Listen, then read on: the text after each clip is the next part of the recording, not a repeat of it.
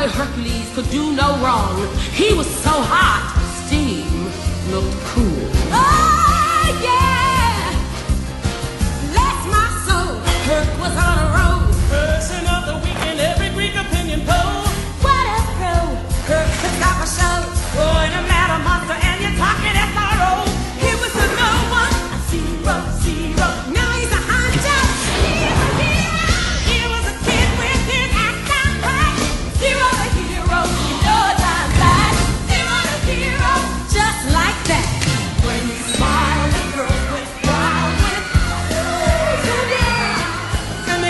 to space on every face.